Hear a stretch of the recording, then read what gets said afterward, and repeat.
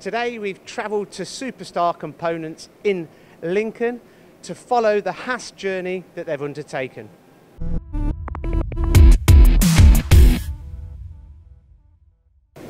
James, this is a fabulous story here at Superstar Components today. Now, can you tell us how this journey started?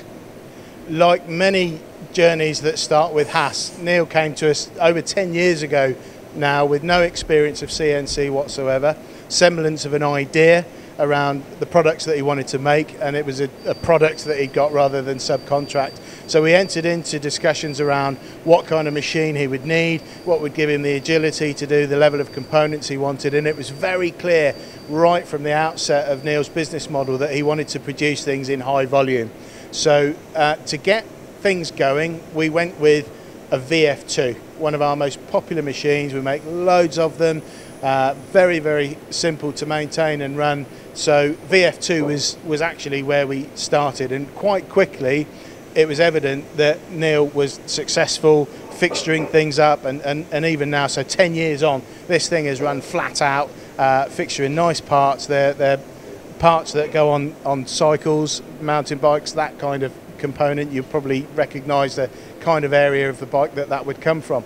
But very quickly, he identified from 2011 they just didn't have enough machining capacity. So the next logical step was to move uh, in a couple of years later, this is a 2013 machine, to the VF4 SS. So VF4 SS, bigger table, exactly the same spindle, everything else is the VF2 SS is the super speed version, which means it's got a 12,000 RPM spindle, again, maximising that uh, speeds and feeds on aluminium. And as you can see from the jobs that Neil's got on here, uh, high volume parts. So this, this part here actually runs, this cycle time runs for about seven hours, which is fantastic because that enables operators to go off and do other bits and pieces. Uh, this particular job that's running here, as you can see, is, is just on a couple of steel blocks. There's 90 parts there. However, the, the machine has run all of its life with the auto pallet changing system. So we just looked on the control a little while ago, and there's just under 4,000 hours of continuous use that this uh, this this pallet system has been churning out part after part after part after part. I mean, this is a phenomenal story, and and, and automation is a big theme at Superstar Components. And like you say, you know, automating these pallets and getting the most productivity out of the machine tools and, and using them to the, to the ultimate capacity, really. absolutely, because it, it is about that. We all talk about cycle time and trying to get cycle time efficiency down and therefore profitability up. But actually, it's a little bit cleverer than that, and it's, it's been quite nice and refreshing because Neil's come at this out, from outside of engineering. He wasn't a traditional engineer. He'd never programmed a machine in his life, never seen a CNC in his life, and realised quite quickly that actually the best way of making money is to be very efficient in the process. Sometimes that's about getting the cycle time up but productivity up exponentially against that cycle time freeing things up. Which then the journey has taken us over to one of the latest acquisitions here, which is an auto parts loaded lathe with Y axes. So this is our ST10 Y axis lathe, very fast, 6,000 RPM spindle, so that we can get the chipping required to do the components that we're talking about with this lathe automatically fed by the auto parts loader, which is integrated into this whole system.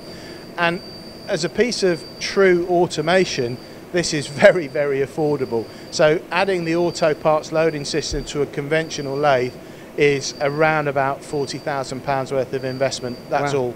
And the footprint to me really strikes me, James. It's a very small footprint for the, the, the, the amount of parts that you can actually present to the robot? It's actually a smaller footprint than quite a few um, bar feeding systems that you'll see.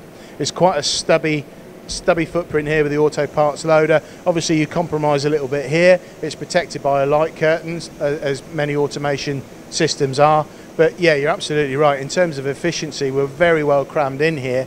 So again, one operator is getting around many, many machine applications. So actually the proximity is quite useful in that regard because again, they can just keep the whole process moving the whole time. So is automating the milling and the turning, and he's also automating the mini mills as well, which is another of the, his acquisitions from Yeah. Haas. So yeah, quite quickly they they realised that the VF4, yes, that gave them loads more capacity, but they needed more.